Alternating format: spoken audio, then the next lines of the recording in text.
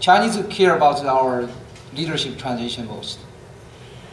Anyone says that the United States or any other country that we care that most. No, Chinese care the most.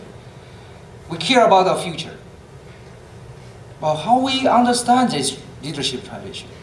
I, when I, I remember I talked with uh, foreign experts, you know, several years ago, maybe three years ago, I remember, we said, oh, we, do you think, how do you think of uh, Xi Jinping in next term? No, I said, Chinese foreign policy will be, as a member of the ambassador last night mentioned, will be more assertive.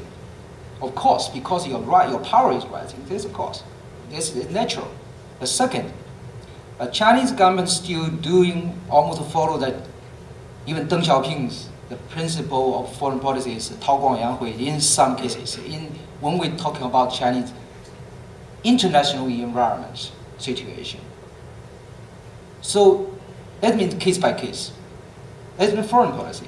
So many Chinese people, I think, uh, have very high expectation of this Sibada. And later, I think we, uh, many are, are satisfied with the result.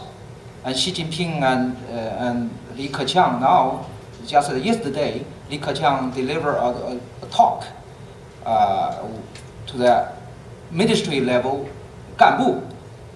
Uh, said, uh, if you cannot, if you we do if you don't do more reform, you should be responsible to that, you know, you, you have to be responsible to the historic uh, effect, it means. So that there's very heavy pressure from the central government to the local Ganbu. So I'm looking forward more changes. And the Chinese people, I think more like me, I think we are still promising that China has another good uh, future.